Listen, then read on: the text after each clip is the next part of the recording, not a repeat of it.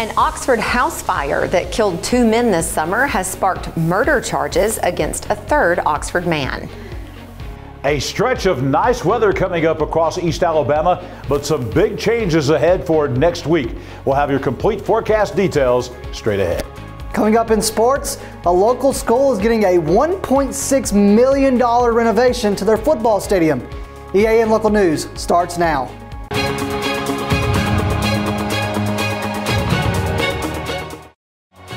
This segment of EAN Local News is brought to you by WM Grocery, located in Heflin, Wedowee, Roanoke, and in Piedmont. Hi, we're glad you could join us. I'm Katie Edwards. And I'm Mike Stedham. Oxford police have arrested 51 year old Arthur Turner and charged him with two counts of murder in connection with a fatal house fire at 24 Main Street in Oxford on June 20th. Chief Bill Partridge says Turner was taken into custody in Knoxville, Tennessee, following a lengthy and technical investigation into that fire. Turner is being held in the Calhoun County Jail, and Partridge says his department also has other pending charges against the defendant. Turner is charged with the deaths of Thomas Lee Perry, 81, and Jimmy George Smiley, 52, who both lived in the house with a number of other family members. Oxford firefighters entered the house while it was still ablaze and rescued an eight-year-old girl who was taken to Children's Hospital and has since recovered from her injuries. Three other adults were brought out of the house that morning with minor injuries. Oxford Fire Chief Gary Sparks told EAN News that all of those who were rescued were members of one family, and there were other residents who were not at home when the fire broke out. When we come back, state officials are now taking public comments about a quarry being planned for Calhoun and Cleburne counties. Since 1993, WM Grocery has been a major part of our local community. WM offers the very best in fresh produce and an outstanding meat department. WM also has many local products not found anywhere else and fresh sushi every day. If you need an event catered, come see Mrs. K at any WM store. Curbside pickup is also available for your online grocery orders. Be sure to download the WM app for all the deals of the week and shopper rewards. Go check them out today at any of their locations. We take pride in our community and appreciate your business. This segment of EAN Local News is brought to you by Oxford Lumber. Come visit any of our locations in Oxford, Jacksonville, Talladega, and Roanoke. Residents of Calhoun and Cleburne counties have less than a week to comment on plans for a limestone quarry that would straddle the two counties just south of Interstate 20. Pillar Materials LLC, a subsidiary of the Taylor Corporation of Oxford, has received tentative approval for that quarry from the Alabama Department of Environmental Management, which will accept public comments on its website through next Wednesday. Lance Taylor, the president of Taylor Corporation, tells EAN News that his company bought the 400 acre site about three years ago and has been working with ADEM for the past two and a half years to meet all of the state's requirements for permits covering both air and water emissions from the quarry. Taylor says the property was used as a quarry in the middle of the 20th century, but it was abandoned sometime in the 1970s. It features an outcropping of limestone, which his company plans to turn into material that can, be used for construction purposes. The only entrance or exit to the property will be off US 431 just south of its intersection with I-20. The site borders parts of the Talladega National Forest and comes close to the Choccolocco Creek in the eastern part of Oxford. Taylor says he's reached out to several environmental groups and to people who live near the proposed quarry to tell them about his company's plans. He says he wants this to be an open door process and he's been speaking with individuals who have questions about the operation.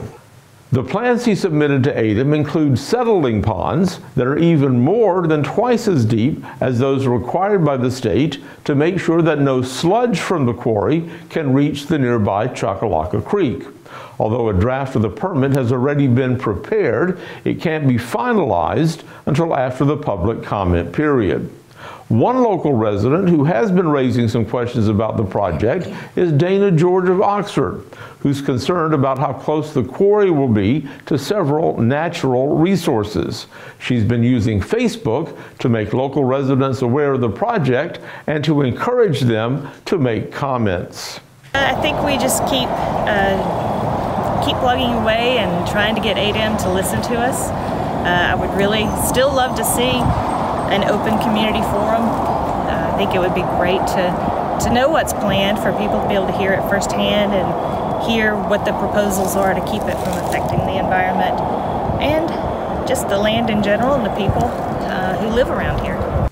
Meanwhile, Taylor says that if ADEM does issue the permit after the comment period has ended, it'll probably be after the first of the year before work can begin to reopen that quarry. He says it will create between 8 and 12 new jobs, and having a new limestone quarry should help local construction companies reduce their costs for some major building supplies. When we come back, Jacksonville will be showing a free Christmas movie on the square this Saturday night.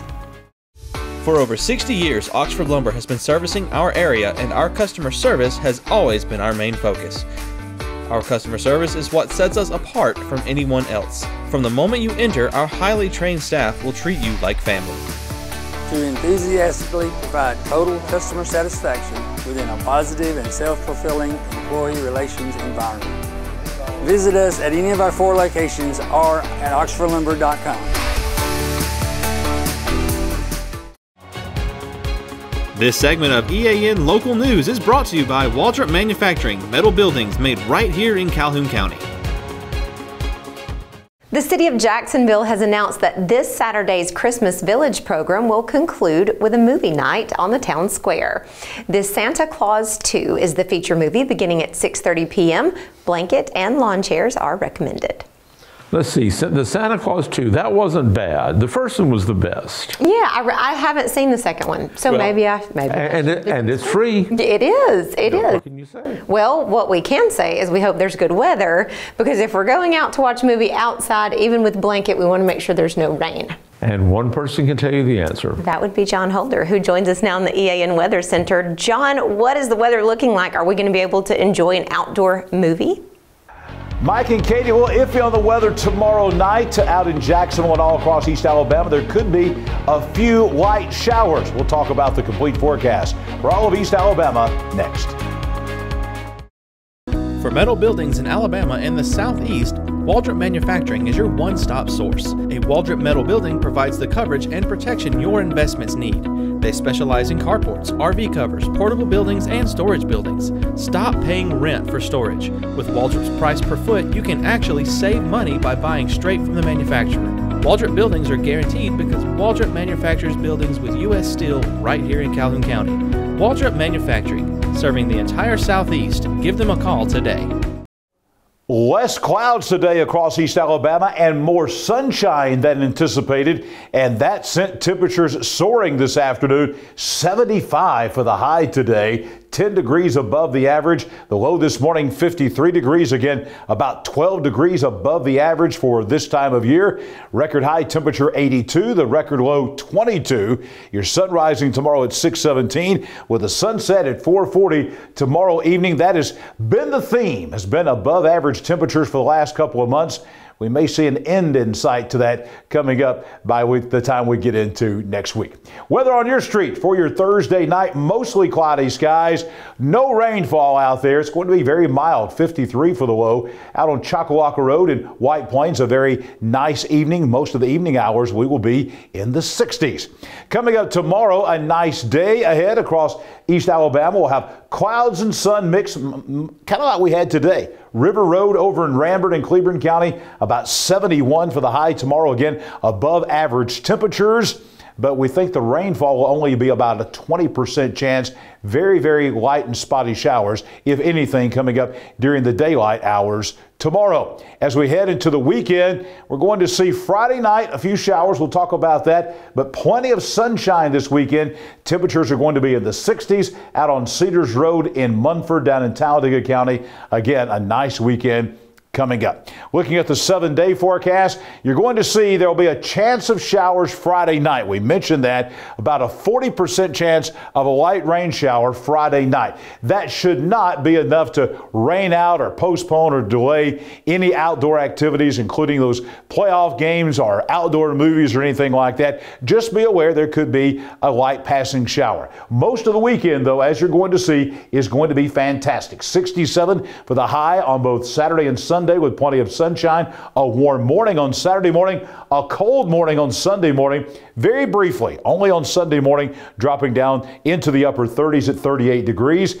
And then Monday, that's when we're going to be drawing your eyes to. That's what we're going to draw your eyes to is Monday, a 70% chance of showers and thunderstorms, an 80% chance Monday night, a 60% chance on Tuesday. This would be the first widespread beneficial rainfall that we've had in East Alabama in over two months. You would have to go back to the middle of September, the last time that we've seen widespread beneficial rainfall. It looks like we're finally going to get that. This could be the drought buster coming up on Monday, Monday night, and Tuesday. There could even be thunderstorms involved. We haven't had any thunder around here in two months either, so we could be looking at strong to severe storms in here Monday afternoon, Monday night, maybe during the day on Tuesday. We'll refine the timing on that, but just be aware there could be thunderstorms and potentially some heavy rainfall involved. We'll take it highs in the 60s, nighttime lows dropping down into the 40s and 50s.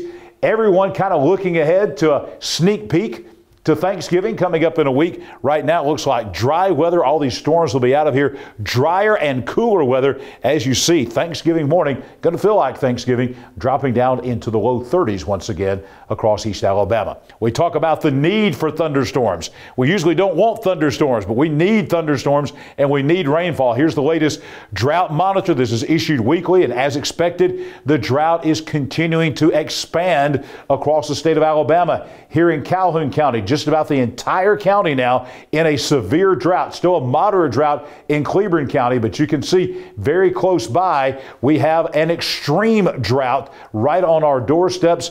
And we think by next week that this is going to expand even further because not much rainfall coming until at least Monday. So again, we need the rainfall desperately as we are now in a severe drought here in East Alabama.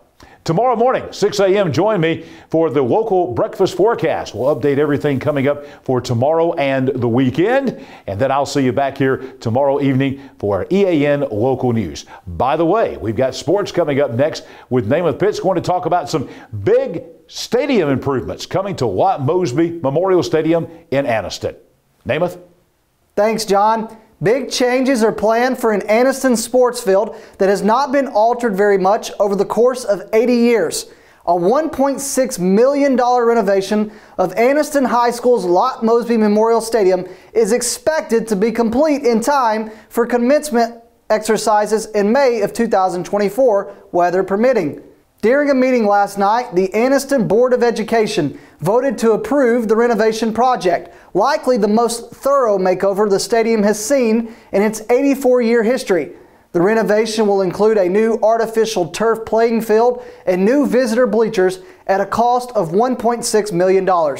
Ken Goebel, the Anniston School System Facilities Coordinator, told the board members that the new visitor bleachers will be ADA compliant. Basketball action continues tonight for nine Calhoun and Cleburne County teams.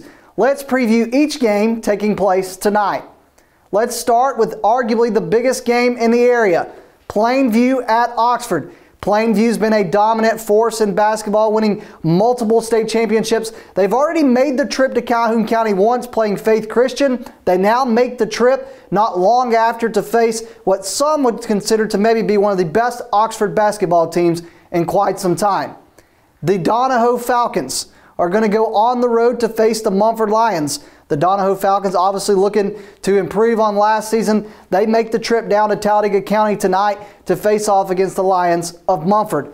We just mentioned Faith Christian. I have got to give Coach Hughes some credit. The schedule he has built, hosting Plainview, going and facing Gulf Shores, He's got Oxford on the schedule, I'm pretty sure. And here, Faith Christian is hosting Chris Randall and the White Plains Wildcats tonight. Coach Chris Randall's teams coming off their loss to Oxford Faith Christian, coming off uh, uh another game as well. So these two teams are going to meet at Faith Christian. This is going to be a sneaky good game, White Plains at Faith Christian. Couple nights ago on Tuesday night, Gaston hosted Saks. Well, tonight they host the Ohatchee Indians. Ohatchee's the next Calhoun County team making the trip up to Gaston to face the Bulldogs. The Ohatchee Indians are on the road at Gaston. For Coach Bo Wynn and the Weaver Bearcats, they're opening up at home against Asheville. The Bulldogs are headed out to Weaver to face the Bearcats. Caden Gooden for Weaver, obviously looking to have a good year. Harper Lee, another good player for the Weaver Bearcats. And uh, this is going to be a much improved Bo Wynn team for Weaver that thinks they have a chance to win an area championship. Weaver and Asheville. This one right here is another sneaky good game. The Jacksonville Golden Eagles on the road at Talladega. Everybody knows that Talladega, you go back to five years ago, this has been a good basketball team. Jacksonville, talk about building a strong schedule to start the year. They played Springville, Springville Tuesday night. They get Talladega tonight. They have went on the road and faced some tough teams, some tough environments. The Jacksonville Golden Eagles on the road tonight facing Talladega. Speaking of Jacksonville Christian, they went on the road Tuesday to face the Georgia School for the Deaf. Tonight they go to Talladega to face the Alabama School for the Deaf. Coach Miller's Jacksonville Christian team had a good game Tuesday night. They go on the road looking to stay uh, win or win. They look to stay undefeated as they go to Alabama School for the Deaf. For the Pleasant Valley Raiders and Coach Hood, they're going on the road to Ragland to face the Purple Devils. Pleasant Valley is going to go on the road to Ragland, just right outside of, uh, right past Ohatchee. Uh, not too too far of a drive for Pleasant Valley, as the Raiders are going to go on the road to Ragland. And our last game for tonight is a brand new team. TJ Thompson over at Hope Christian Academy out of the Lighthouse Church in Oxford. They are hosting Marshall Christian. Uh, this is going to be, again, uh, talk about sneaky good games tonight. This is certainly one of them. TJ Thompson and Hope Christian Academy getting better every game they host Marshall Christian. That's it for EAN local sports. Let's go back over to Mike and Katie. Thanks for that update, Namath and thank you for watching us today. You can find us here online every weekday on Facebook, YouTube, or Instagram, and on our website, eastalabamanow.com. Just go to our video feed and watch us whenever it's convenient for you. We'll see you back here on Friday for your news on your schedule.